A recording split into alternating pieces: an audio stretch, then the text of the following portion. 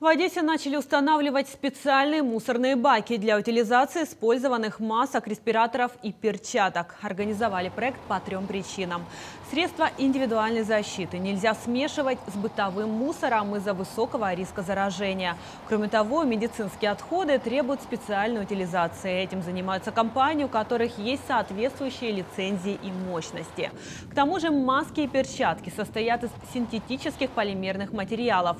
При их сжигании в атмосферу выбрасываются вредные вещества. Медицинские маски, респираторы и перчатки, они валяются повсюду в парках, возле жилых домов и даже на пляже. Коммунальщики попытались решить эту проблему. По городу установили вот такие урны для медицинских отходов. Мы понимаем, что в миллионном городе ежедневно выкидывается э, очень большое это количество масок, которые тоже надо бы утили утилизировать. Именно поэтому сейчас возле всех домов ЖКСов это появляются э, специально выделенные баки под сбор этих масок. Также такие баки будут это появляться во всех парках нашего города, ну и в, э, в знаковых общественных местах.